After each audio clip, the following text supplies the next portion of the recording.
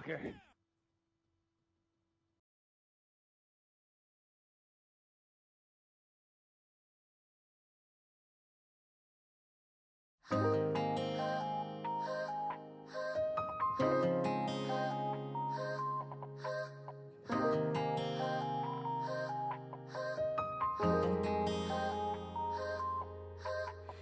光つも届かない冷たくなったこの部屋で最後になったゆりかごを揺らしましょう。彼女は彼に笑顔と無償の愛を捧げました。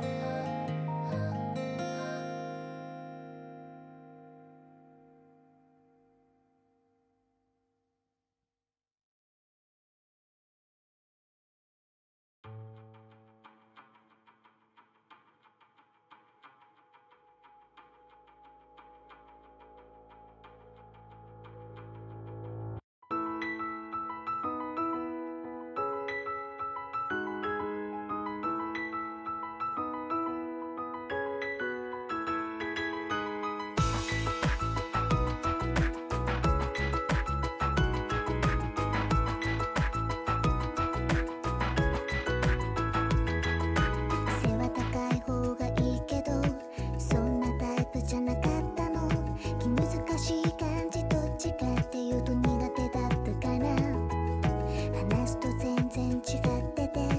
笑うと目が子供みたいで。くしゃくしゃになっちゃう目元なんかにすごいドキッてしたりして。でもなんで本当のこと言っちゃうバカなの。最初は彼女いないよって嘘つくのが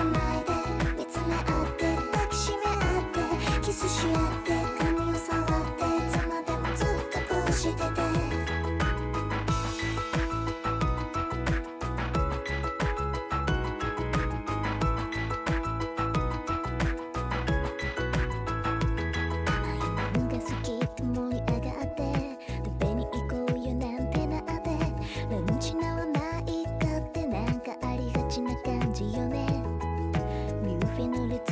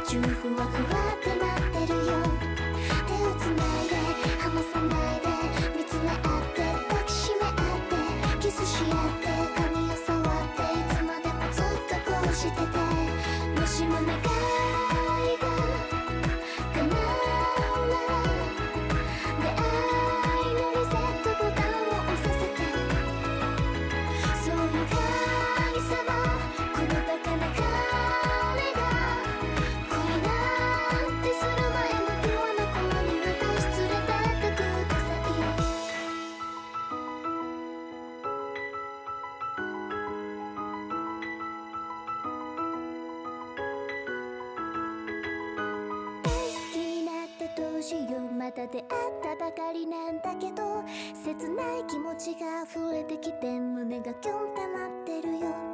そういう大好きな